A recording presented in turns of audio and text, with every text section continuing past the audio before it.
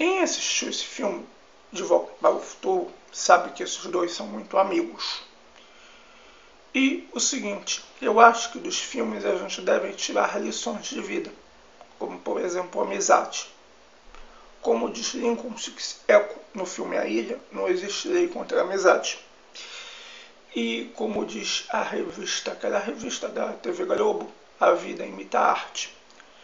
Então eu não acho justo o aos Jogos escolher as minhas amizades com base em julgamentos deles e preconceitos deles. Não é certo eles me proibirem de falar com uma pessoa, de gostar de uma pessoa e, e, e nem de, de ficar fazendo, fazendo a cabeça de pessoas contra mim. Não, não é o VT UOL que tem que escolher as minhas pessoas, as minhas amizades. Não é o VT UOL tem que escolher. Eu sou uma pessoa como outra qualquer. E o seguinte, sabe?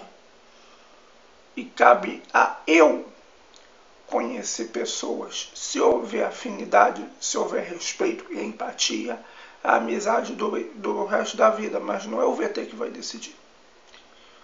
Portanto, esses caras do VT são pessoas sem caráter, pessoas que o seguinte, hackerzinho de internet, cheio de ódio no coração, cheio de ódio no coração, então se acham no direito de julgar tudo e todos.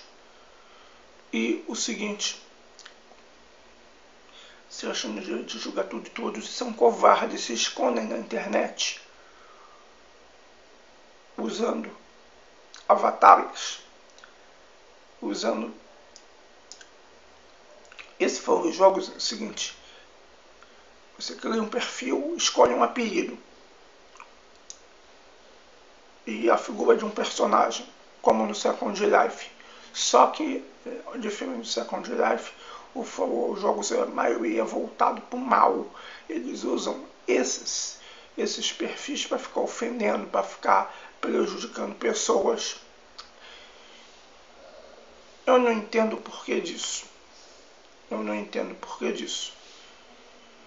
Eu espero que a, que a justiça venha, não digo a justiça dos homens, mas a justiça celestial, e faça com que eu recupere as duas amizades que eu perdi por culpa do Fórmula Jogos. E o seguinte, e que eles tenham as devidas punições, não necessariamente dos tribunais, mas as punições celestiais. É isso aí. Obrigado por assistir. Eu vou ficar muito feliz se eu tiver uma chance com as duas internautas que eu perdi.